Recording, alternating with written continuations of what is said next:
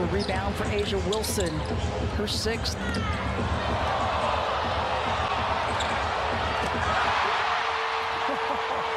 a smile on the face of Yo.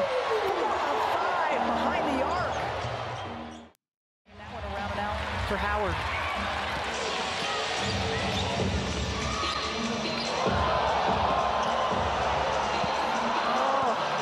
Jackie Young, she and McDonald, McDonald lost her footing and Jackie couldn't take advantage.